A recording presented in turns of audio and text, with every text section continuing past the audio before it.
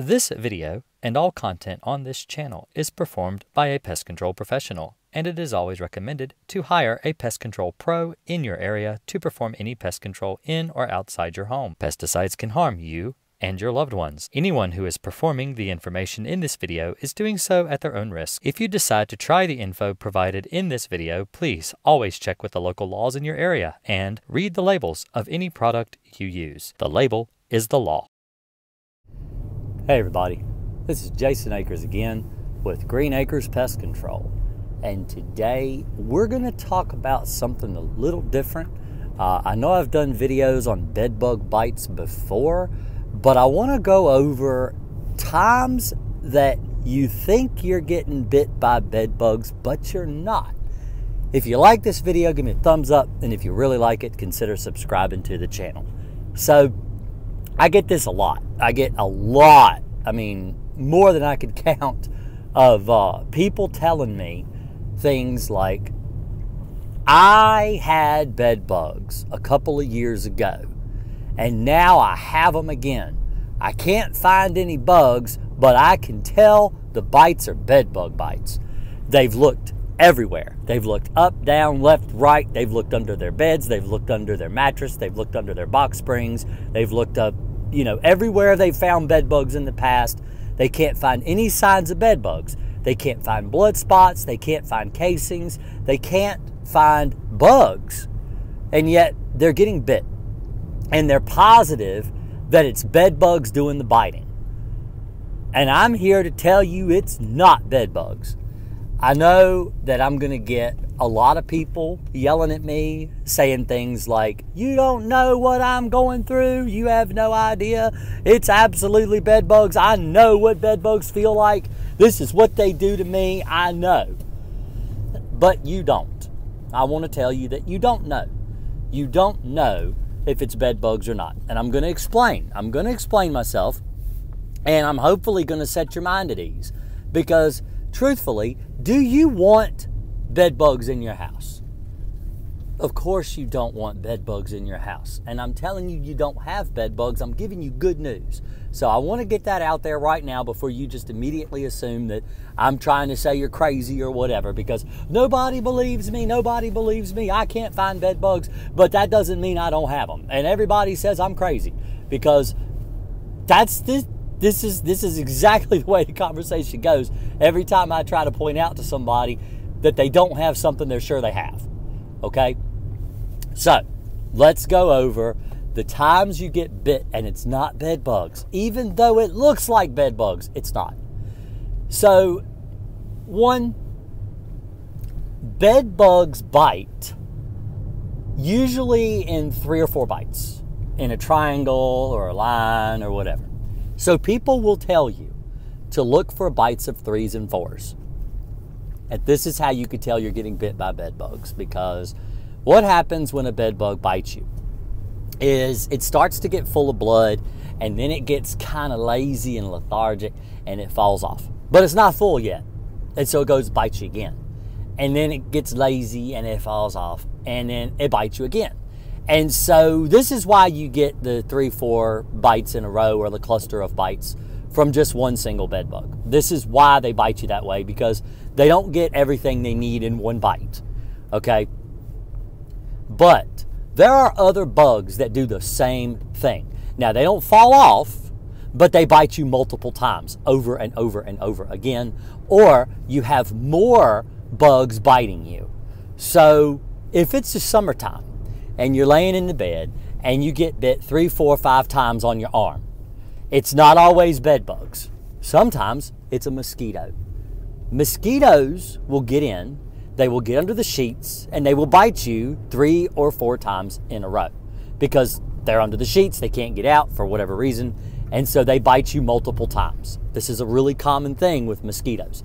Happens to me, happens to my children whenever, you know, springtime, early early summer when the weather's really nice and you open your windows at night or maybe you maybe you were doing dinner and let the heat out of the house you opened the back door and the mosquitoes flew in now they're in the house now they just bite you when you're asleep this is really really common i've had people positive that they had bed bugs. And when I got to the house, I found out, well, right outside their bedroom window, there's a tree there and there's mosquitoes roosting in the tree. And you treat the tree and you kill the mosquitoes, and all of a sudden their bed bug, their bed bug bites stop. It wasn't bed bugs at all. It was mosquitoes. They were sure it was bed bugs, but it was mosquitoes. So that I mean, and, and to look at their bites and to look at Google images, you would think that what they got bit with was absolutely bed bugs because the bites show up in the same pattern, but it just it just lucked up that way that that's how the bites looked. But it wasn't bed bugs. It was mosquitoes. Another thing people will get.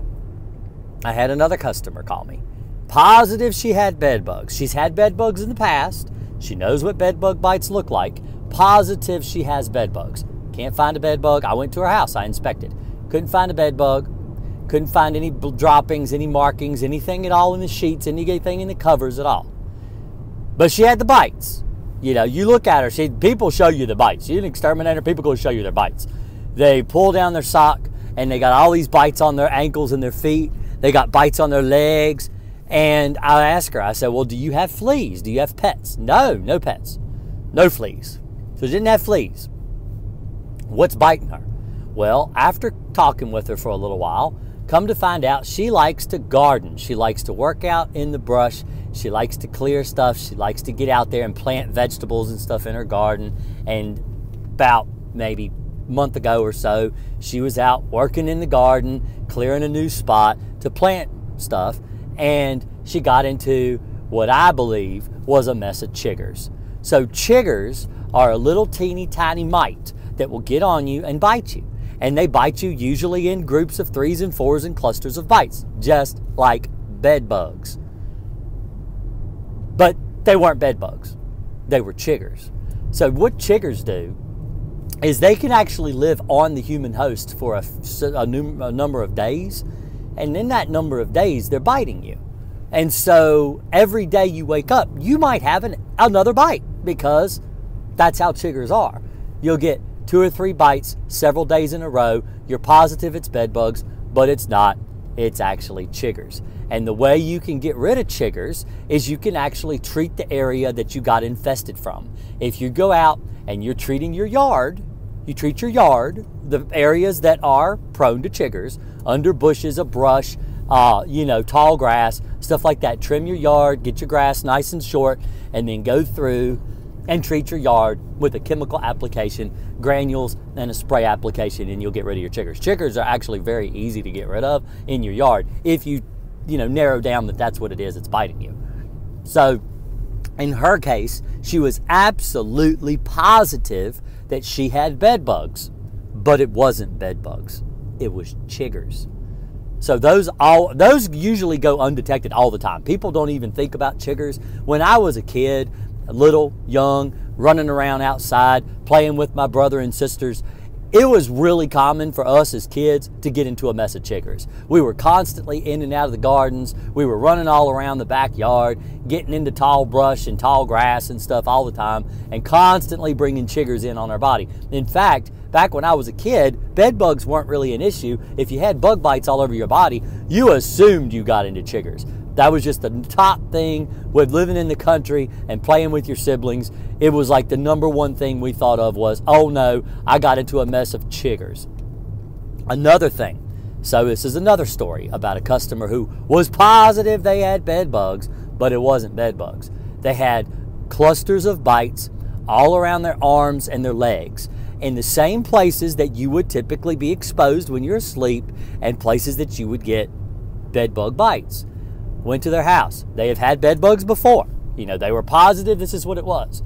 Got to the house, and they showed me, they actually showed me pictures that they had from years prior where they had evidence of bed bug bites, where they had had another exterminator come in and treat for bed bugs. So they knew, they knew what the bites looked like. They showed me their bites, and they did look similar.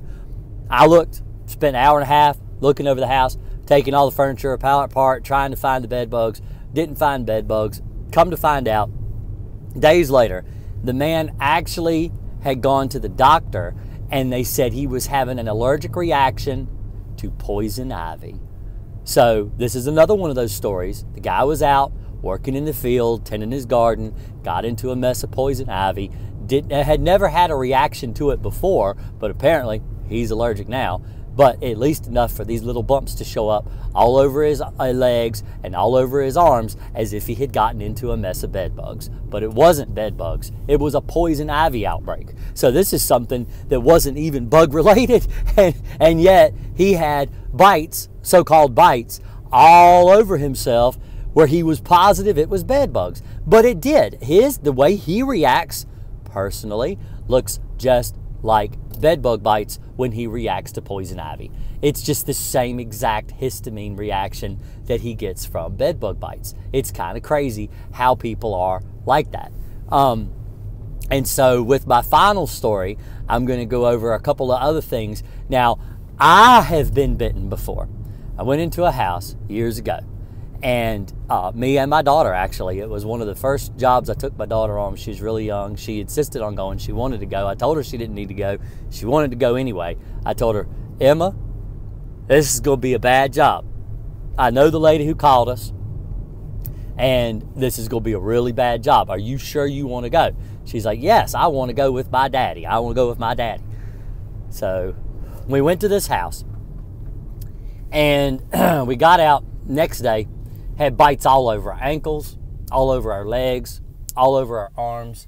It was a severe, severe infestation of fleas. So we had gotten into a mess of fleas because that's that's what I do for a living. You know, people call me and they say, "Hey, I've got fleas all over the house. When can you get out here and treat my house for fleas?" The woman knew she had fleas. She didn't think she had bed bugs. But what I did was I took pictures of both my bites and my daughter's bites because I said, I am going to fool some people. So I took pictures of my quote unquote bed bug bites. Didn't say they were bed bugs. I never said they were bed bugs. I was trying to see how many people would assume it was bed bugs. And so I posted them on social media on exterminating forums with other exterminators. And I said, I have these pictures of bug bites. What is biting this person? And now it was me, and it was fleas. I already knew it was fleas. I was in the house. I, I was picking them off of me as they were jumping on and off of me. So it was fleas biting me. So I posted these pictures online, and a resounding amount of people, over 70%, of the people who responded to my question swore up and down they were bedbug bites. I even got into an argument with one other professional exterminator that swore they were bedbug bites. He's been in the field for over 10 years. He's seen it all. He knows exactly what bedbug bites look like, and that is what I had. And finally, I had to tell him look, I took this picture of my leg. This is a picture of my leg of flea bites. I was getting eaten with fleas. When I rolled my sock down, I pulled the feasting parasite off of my body myself. They are flea bites. So, just because the whole point of this video is just because you have bug bites and you assume or they appear to be bed bug bites or what you perceive as a bed bug bite.